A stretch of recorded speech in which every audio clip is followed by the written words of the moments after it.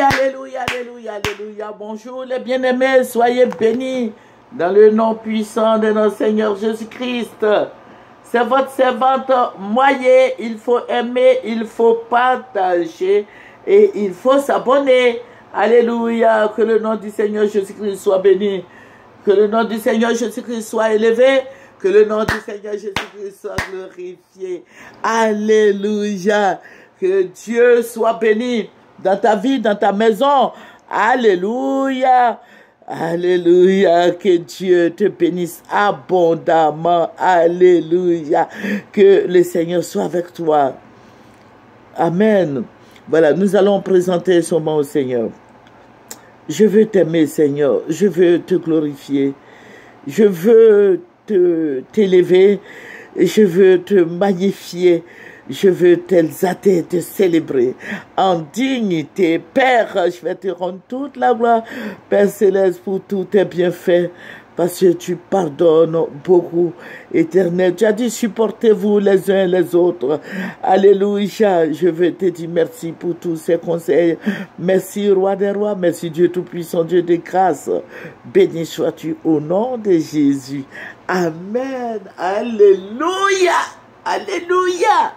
Jésus-Christ est Seigneur. Jésus-Christ est tout-puissant. Il est notre Dieu. Il est notre gloire. Il est élevé au siècle des siècles. Nous allons prendre un verset qui va nous faire du bien. Alléluia. Voilà, nous allons prendre de Chroniques 7, verset 14. Si alors mon peuple qui est appelé de mon nom s'humilie, prie et recherche ma grâce, s'il se détourne de sa mauvaise conduite, moi, je l'écouterai du ciel. Je lui pardonnerai ses péchés et je guérirai son pays. Alléluia. Ça veut dire que quand, si tu, c'est d'aventure, si tu, as, tu as péché, tu as fait des choses abominables, euh, ce qui ne glorifie pas Dieu, euh, voilà ton comportement hors, hors la loi et hors la loi. Voilà, si tu as fait beaucoup de mauvaises choses, que tu renonces à cela désormais, que tu viens, tu te détournes de ça, tu dis non, je vais plus le faire, et tu changes de conduite, et si tu écoutes la voix de l'éternel, ton Dieu, il va te pardonner, c'est ce qu'il a dit, il te pardonnera tous tes péchés et il te guérira. Certainement, ils ont mis, ils guéri son pays. ça peut être ta vie spirituelle, ça peut être ta maison, euh, ça peut être tout ce dont tu as besoin. Alléluia. Notre Dieu est amour, il est rempli de compassion.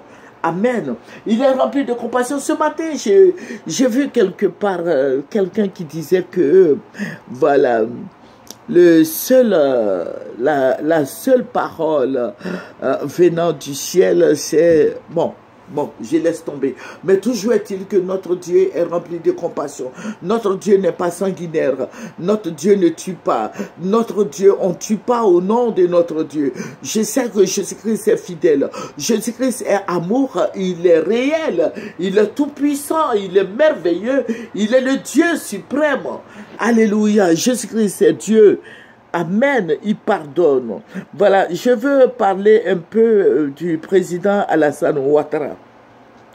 Voilà, je veux dire que euh, le président Ouattara a envoyé des mercenaires au Mali.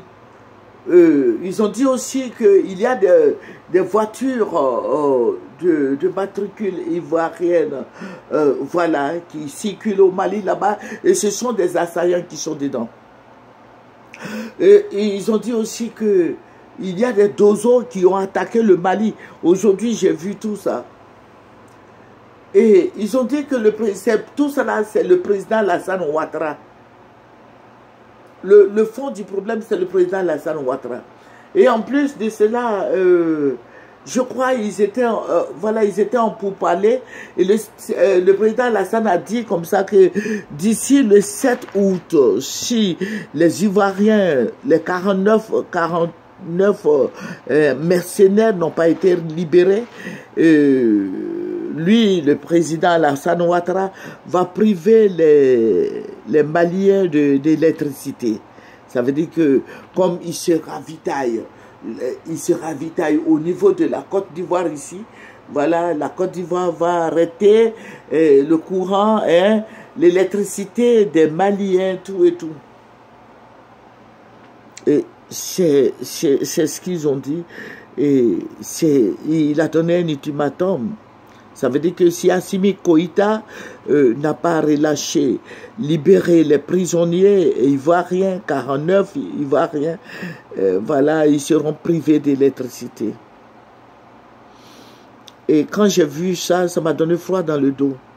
J'ai dit, mais le président Ouattara, lui-même qui est fautif, qui devait demander pardon à Assimi Koïta et aux Maliens, c'est lui qui menace maintenant les Maliens des privations de, euh, d'électricité. Mais l'électricité, là, ce n'est pas pour vous, monsieur le président Alassane Ouattara. Ah, ah. Si vous faites ça, quand vous allez partir, là, un autre président va venir, là. Ils vont faire ça avec le Burkina Faso aussi parce que c'est la Côte d'Ivoire qui ravitaille le Burkina Faso en électricité. Voilà. Parce que faites beaucoup attention à ce que vous faites, président Ouattara. Faites beaucoup attention. Voilà. Priver les Maliens d'électricité, non, c'est abominable. Ce n'est même pas la pensée de Dieu. Si vous faites ça, Dieu va vous rappeler rapidement même. Parce que vous gênez le monde. Voilà, vous gênez l'Afrique de l'Ouest. Voilà. Donc, je vais dire au président Alassane de faire attention. Ce n'est pas comme ça. Dieu, Dieu, Dieu n'est pas comme ça. Vous êtes fautif, vous avez commis des, des exactions au niveau du Mali, tout et tout. Il y a eu, des morts. Les mercenaires qui sont rentrés là-bas, ce n'est pas ceux qui sont en prison là, mais d'autres sont allés tuer des, des, des Maliens là-bas. Et vous dites que vous les menacez. Non, je ne suis pas d'accord avec vous, président Alassane Ouattara. Voilà, notre Dieu est bon. Notre Dieu pardonne. Nous, nous avons un Dieu, nous les chrétiens là, nous avons un Dieu qui est bon, nous avons un Dieu qui est, qui est amour, nous avons, euh, il est riche en amour, nous avons un Dieu qui, qui, qui, qui aime, notre Rédempteur et Sauveur, il est, il est élevé, il est vivant au siècle des siècles. Mais ce que vous êtes en train de faire, vous, bon, moi je ne sais pas, hein, mais ce n'est pas bon. Ce n'est pas bon, président Alassane Ouattara, ce n'est pas bon. Voilà. Il faut, il faut demander pardon. Normalement, le président Alassane Ouattara doit demander pardon au peuple malien. Le président Alassane Ouattara doit demander pardon à Dieu et aux Maliens. Parce qu'il y a eu embargo, il y a eu beaucoup de morts.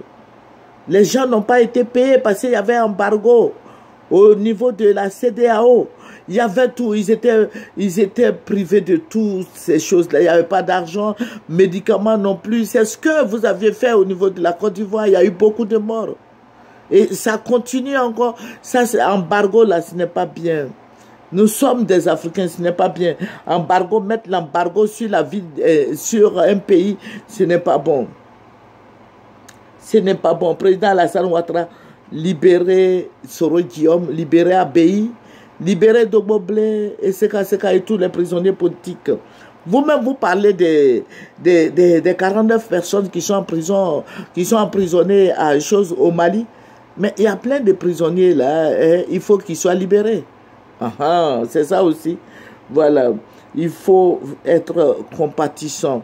Alléluia. Notre Dieu est rempli de, euh, est plein de compassion et de grâce. Nous avons un Dieu qui est fidèle. Notre Dieu est tout puissant. Alléluia. Président Lassane, il faut reconnaître, il faut reconnaître ses péchés pour que Dieu vous pardonne. Dieu veut vous donner la longévité, mais le poids du péché, au fur et à mesure, vous creusez dedans et ce n'est pas bon. Président Lassane Ouattara, Jésus-Christ est venu, il s'est donné un sacrifice pour nous. Jésus-Christ nous a donné la délivrance. Jésus-Christ nous pardonne toutes nos fautes. Pardonnez un peu au Soro Guillaume. Voilà. Et puis vous n'avez pas raison. Demandez pardon au peuple malien. Vous n'avez pas raison. C'est vous qui, qui êtes allé les attaquer. Voilà. Parce que vous êtes Toubabou, madame est Toubabou. Donc c'est la même chose. Voilà. Il faut pardonner à Sorodium, c'est mutuel. Ce que vous voulez que les gens fassent pour vous, faites-le de même pour les autres.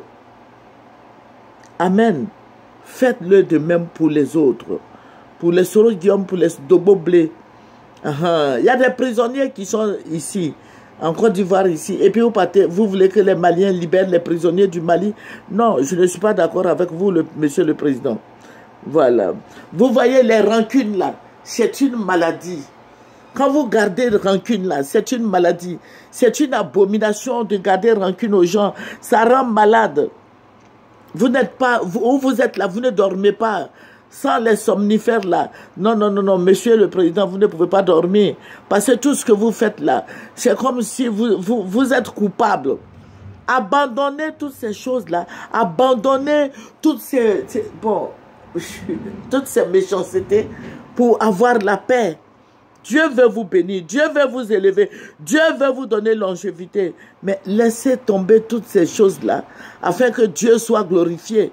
Nous avons un Dieu très puissant. Voilà, nous allons revenir là-dessus. Que le Seigneur Jésus-Christ nous bénisse. Que le nom du Seigneur soit glorifié. Que le nom du Seigneur soit béni. Mais je vais dire au président Ouattara de demander pardon au peuple malien. Je vais dire au président Ouattara demander pardon au peuple malien, au président Assimi Koïta. Je vais dire au président Ouattara d'être reconnaissant en libérant les prisonniers politiques de la Côte d'Ivoire et faire entrer Soro Je vais demander au président Ouattara d'être aimable. Je vais demander au président Ouattara de, de, laisser tomber toutes ces méchancetés et de se tourner vers le Seigneur Jésus-Christ. Que le nom du Seigneur soit béni. Alléluia. Que le Seigneur vous bénisse, au président. Alléluia. Au revoir.